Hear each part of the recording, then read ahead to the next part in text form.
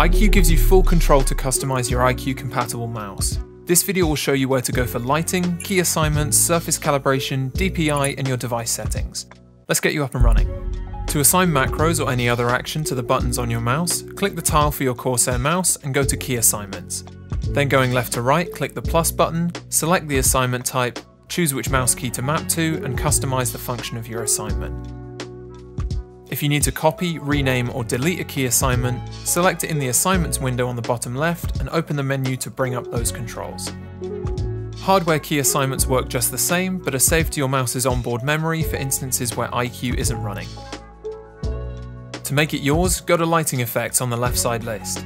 Add a new effect by clicking the plus in Lighting Layers, then select a preset, custom effect, or a lighting link effect if you want your effect to play across all your iCUE devices.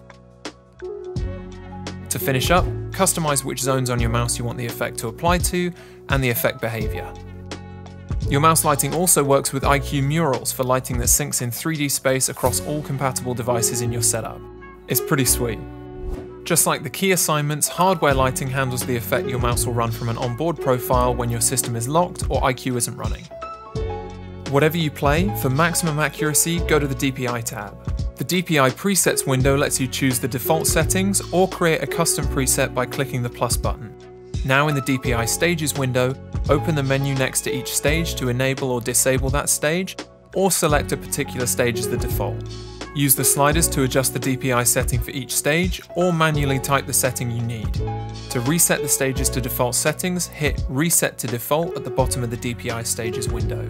In the Indicator colors section, customize a color for each DPI stage in the preset. Surface calibration couldn't be simpler.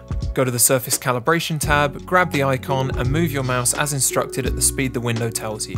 Just like that, your mouse is calibrated for peak performance. Finally, the Device Settings tab will let you change polling rate, brightness, check for a firmware update, and more. And with that, you're good to go. Head into iCUE and explore for yourself all the amazing things you can do with your setup. Thanks so much for watching.